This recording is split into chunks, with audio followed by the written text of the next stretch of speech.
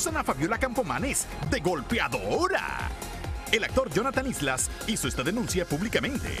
Esta mujer me reventó el hocico de un... La señorita tiene drogas en su casa. Eh, ahorita se acaba de salir corriendo. Estoy aquí en su casa y estoy levantando un reporte porque la señorita me metió tres en el hocico por drogadicta. Dios mío, por Dios.